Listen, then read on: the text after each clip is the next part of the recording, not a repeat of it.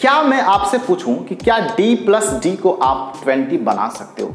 तो क्या आपका जवाब होगा? यदि आपको लगता है कि ये इम्पॉसिबल है तो आप बिल्कुल गलत हैं। और आज के इस वीडियो में मैं आपके साथ यही प्रूव करने वाला हूँ। वो भी बहुत ही फनी तरीके से। इसको आप सीरियसली मत लेना, ऐसा कुछ होता नहीं है। एक्चुअली जस्ट फॉर फन आपके साथ ये मैं प्रूव करने जा रहा हूँ। तो चलिए बच्चे, देखते हैं कैसे आप इसको प्रूव कर सकते हैं। तो हमारे पास क्या है? D प्लस डी को 20 कैसे बनाया जाए? तो इसके लिए आपको थोड़ा सा दिमाग लगाना है और यहाँ पे मैं ये इस प्रकार से इसको लिख सकता हूँ। इसको दो भाग में तोड़ सकता हूँ, ठीक है? ये वन इसमें से डंडा निकाल लिया और यहाँ पे जो इसका जो भाग बचा, उस उसको इस प्रकार से लिख दिया।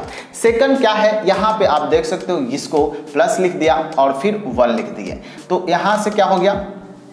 इसको भी हम लोग क्या कर लेते हैं? वन डंडा लिख लिए और यहाँ से आप देख सकते हो इसको भी हम लोग निकाल लिए। तो कहने का मतलब इस डी को दो भाग में तोड़ दिया इस डी को दो भाग में तोड़ दिया। अब करना क्या है? तो इसको आप प्लस कर दो तो ये हो जाएगा आपका टू अब इस दोनों को क्या करेंगे? इस दोनों को हम लोग थोड़ा सा उल्टा करके इस प्रकार से जोड़ देंगे तो बन जाएगा हमारा ज़ीरो क्या बन जाएगा? ज़ीरो तो इस प्रकार से क्या बन गया? यहाँ से ट्वेंटी मिला करके बना सकते हैं। इसका मतलब D equal to D equal to D plus D बराबर बन गया ट्वेंटी दैट इज़ द फंडा।